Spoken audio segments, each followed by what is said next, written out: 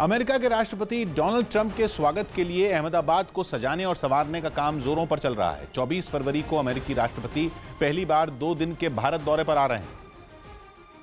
और उससे पहले उनके स्वागत के लिए अहमदाबाद शहर को सजाया जा रहा है। अमेरिका के राष्ट्रपति डोनाल्ड ट्रंप और प्रधानमंत्री नरेंद्र मोदी दुनिया के सबसे बड़े मोटेरा क्रिकेट स्टेडियम का उद्घाटन भी करेंगे जिसे देखते हुए स्टेडियम की तरफ़ जाने वाली सड़क के दोनों तरफ़ वॉल पेंटिंग बनाई जा रही है। अमेरिकी राष्ट्रपति डोनाल्ड ट्रंप जब मोटेरा स्टेडियम की ओर आएँगे तो रास्ते में अमेरिका और भारत की दोस्ती की ऐसी कई तस्वीरें उनकी दीवारों पर यहाँ देखी जाएगी।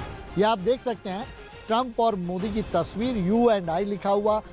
इस दौरान दीवारों को सजाने के लिए कई कलाकार काम करते दिखाई दिए। दीवारों पर अमेरिका और भारत की दोस्ती को दर्शाया गया।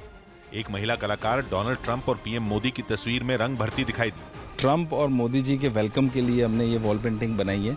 और क्योंकि अमेरिका जो है वो विश्व की सबसे पुरानी लोकशाही है और इंडिया जो है वो विश्व की सबसे बड़ी लोकशाही है। इसके अलावा शहर के दूसरे इलाकों में पीएम मोदी और डोनाल्ड ट्रंप की कई बड़ी बड़ी होर्डिंग भी लगाई गई। एक होर्डिंग में दोनों नेता एक दूसरे से हाथ मिलाते नज़र आए, जिस पर गुजराती भाषा में दो महान देशों का मिलन लिखा दिखाई दिया।